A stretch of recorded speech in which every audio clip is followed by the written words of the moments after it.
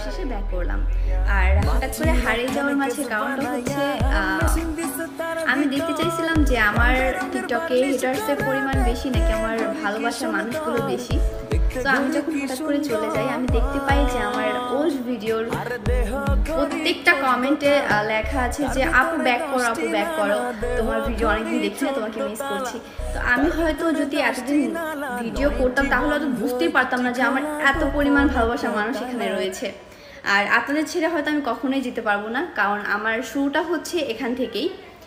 আর আমি লাইফে যত উপরে উঠি না কেন, আপনাদের কখনোই আমি ভুলতে পারব না।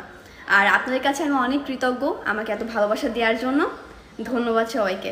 আই লাভ ইউ অল আমার উপরে ওঠার কারণ হচ্ছেন আপনারা।